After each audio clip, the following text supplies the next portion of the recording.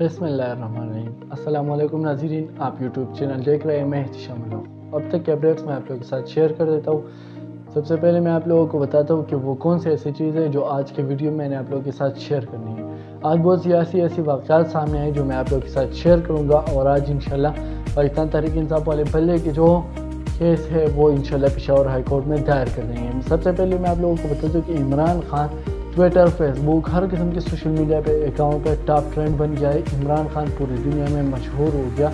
जहाँ भी आप लोग देखेंगे तो इमरान खान का नाम ही होगा।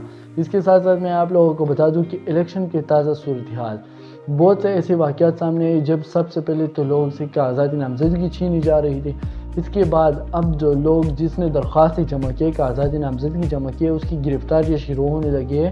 तो ये बहुत बड़ा मसला सामने आ रहा है। इसके साथ साथ मैं आप लोगों को बता दूँ कि इमरान खान ने जेल से एक प्लान बनाया था, जिस प्लान के बारे में किसी को पता नहीं था, लेकिन ये दो तीन दिन हो गए कि उस प्लान ने पूरे पाकिस्तान को हिला कर रख दिया। मतलब कि इमरान खान का जो प्लान था, वो मैं आज की वीडियो में आप लोगों को बता दूँगा कि वो कौन सा प्लान था, जिसने पूरी दुनिया में हैरानी पैदा कर दी है। मैं आप लोगों को ये भी बता दूँ कि पाकिस्तान तहरीक इंसाफ जितने तरक्की कर रहे हैं, इसकी बुनियादी वजह सोशल मीडिया के वर्कर्स है और साथ साथ में जो पाकिस्तान तहरीक इंसाफ के जो यंग लोग हैं, जो जवान लोग हैं, उसकी जो पाकिस्तान तहरीक इंसाफ की जो ख़ास लोग हैं, उसने बहुत तरक्की पाकिस्तान तहरीक इंसाफ पार्टी को पहुंचाई है और अब जो ये तरक्की के राह पर जा रही है तो ये बुनियादी वजह है जैसे कि आप लोग ये वीडियो देख के बाकी शेयर करते हैं या सोशल मीडिया पे जिस तरह किस तरह वीडियो आप लोग अपलोड कर रहे हैं, ख़ास वजह यह है पाकिस्तान तहरीक इंसाफ की मकबूलियत की। बल्ले के निशान के हवाले से मैं आप लोगों को बता दूँ कि इलेक्शन कमीशन ने पाकिस्तान तहरीक साहब से पहले बल्ले का निशान चीना। अब जो कागजात नामजदगी के हवाले से जो कागजात सामने आए तो इसमें नहीं इमरान खान की नाम वगैरह आए और न पाकिस्तान तहरीक इंसाफ का नाम है। मतलब कि उस लोगों ने पाकिस्तान तहरीक इंसाफ का पार्टी का नाम भी हटा दिया, और साथ साथ में इमरान खान का नाम भी हटाए मतलब कि हर किस्म पार्टी मौजूद है, लेकिन इमरान खान का नाम उसमें नहीं है और न पाकिस्तान तहरीक इंसाफ का नाम उसमें मौजूद है। पहले ज़माने में जब इलेक्शन होता था तो सिर्फ़ इलेक्शन के दिन का लोगों को पता होता था और इस तरह इलेक्शन नहीं हुआ। अब इस दफ़ा इलेक्शन कमीशन ने जो कागजात सामने आएँगे, जिसका मतलब अगला मरहल स्क्रूटनिंग का। स्क्रूटनिंग में अब इलेक्शन कमीशन ने बहुत से लोगों को दावत दिया कि वो आके जो उम्मीदवार हैं वो मंतखब करे। तो उसमें मैं बता दूँ कि उसने नए petroleum F I A NADRA State Bank power division बहुत से ऐसे इदारों को उसने बुलाया है कि वो आके जो स्क्रूटनिंग करेंगे और फिर उम्मीदवार मंतखब करेंगे। तो ये भी एक अजीब वाक़ सामने आ रहा है। ये जो वाक़ात आ रही है बिल्कुल जो उन्नीस सौ छिहत्तर में तो ख़ुद नहीं मतलब जो तारीख़ है उसके मुताबिक मैं आप लोगों को बता दूँ कि बिल्कुल जो जुल्फ़ार अली भुट्टो के साथ हो रहा था, बिल्कुल वैसी वाक़ात अभी सामने आ रहे हैं। जिसके साथ साथ मैं आप लोगों को बता दूँ कि आने वाले पाँच जो दिन हैं, वो बहुत अहम है, जिसमें उम्मीदवार मंतखब होंगे तो ये पाकिस्तान तहरीक इंसाफ है।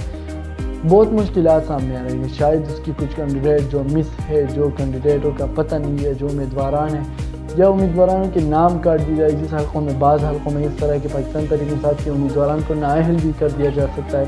तो ये पाकिस्तान तहरीक इंसाफ के लिए बहुत मुश्किल सामने आ रही है। और ये भी बता दूँ कि पाकिस्तान तहरीक इंसाफ के लिए सबसे बड़ा नुकसान ये है कि जो बैलेट पेपर होगा, उसे बल्ले का निशान हटाया गया है, जो एक दिखाया गया है सोशल मीडिया पे। और साथ साथ में इमरान खान का नाम भी हटाया गया है। तो पाकिस्तान तहरीक इंसाफ के लिए बहुत मुश्किल है। और ये इमरान खान का नाम भी हटाया गया है, जो दुनिया, पाकिस्तान की मशहूर पार्टी है। इमरान खान के पार्टी का नाम भी पाकिस्तान तहरीक इंसाफ भी हटाया गया है और ये लोग कह रहे हैं कि आने वाला जो इलेक्शन है, आठ फरवरी को वो साफ़ और शफाफ इलेक्शन होगा। तो आप लोग बता दीजिए, क्या ये साफ़ और शफाफ इलेक्शन होगा कि शायद इमरान खान या पाकिस्तान तहरीक इंसाफ पार्टी का नाम ना हो? आप लोग कमेंट सेक्शन में लाजमी बता दीजिएगा और ये भी बता दूँ कि जो पाकिस्तान तहरीक इंसाफ का जो बानी है, उसका नाम भी एक पेज से गायब है, जिस पेज पर पाकिस्तान तहरीक इंसाफ के बानी का जो खाना है, वो खाली पड़ा हुआ है। वो लोग कह रहे हैं कि पाकिस्तान तरीके इंसाफ का चेयरमैन नहीं है। तो ये मैं आप लोगों को बता दूँ कि पिछले कुछ दिनों तक तो बैरिस्टर गौहर चेयरमैन था, लेकिन उसके बाद जो इलेक्शन हुआ था इंट्रा पार्टी इलेक्शन उसको उस लोगों ने मुस्तरद कर दिया। इलेक्शन कमीशन वाले ने तो वापस चेयरमैन तो इमरान खान, मंतखब हुआ मगर वो लोग नहीं मान रहे। तो आप लोग कमेंट सेक्शन में बता दीजिए कि पाकिस्तान तहरीक इंसाफ के पार्टी का चेयरमैन कौन है, ये आप लोग कमेंट सेक्शन में लाजमी बता दिया। बहुत से वैसे वाक़ात सामने आए, आने वाले पाँच दिनों में पाकिस्तान तहरीक इंसाफ के लिए बहुत मुश्किल भी है और बल्ले का निशान इन बीस घंटों के अंदर अंदर फैसला इन बल्ले का निशान भी पाकिस्तान तहरीक इंसाफ को मिल जाएगा।